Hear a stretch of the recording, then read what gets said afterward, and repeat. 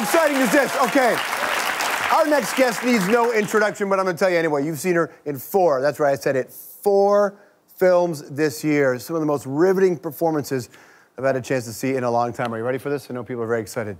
Please put your hands together for Edith Welland!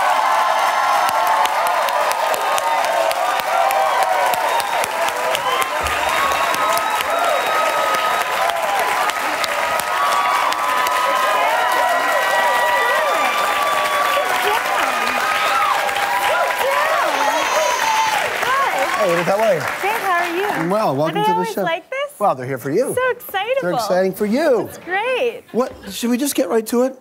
Yeah. What an incredibly wild run this has been for It's you. It's been insane. What's it like? It's, I mean, I kind of always expected it, so there's that. I feel, I feel really great. It feels really natural to me. Um, there are detractors sometimes.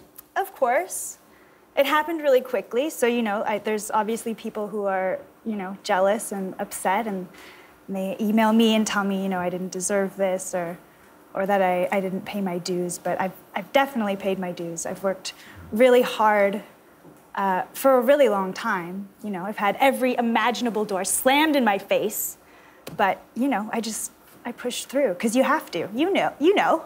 Yeah, but Yeah. how do you get through it when it's really dark and really heavy at night? I mean, you just gotta. You gotta take those those voices, those hateful voices, and you just gotta like shrink them down into like these tiny little people. And then you like grab a hammer and you just like smash like every single one of them. Uh, is this a metaphor we're talking about here? Well, yeah, I guess. kind of. Um, listen, do you still?